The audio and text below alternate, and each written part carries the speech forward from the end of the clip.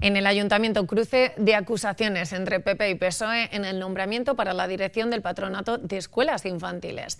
En esta ocasión era un tribunal el encargado de seleccionar los perfiles que optaban a este puesto. Una vez tomada la decisión, no convencía al PSOE, según los populares, porque las personas en cuestión no era la que querían los socialistas. Desde el equipo de gobierno lamentan que este grupo esté intentando negar la veracidad de unos informes técnicos y jurídicos dicen el PP está desterrando del ayuntamiento esas prácticas socialistas en la selección de personal y ahora sí se prima el esfuerzo, mérito y capacidad y no el amiguismo y los favores personales.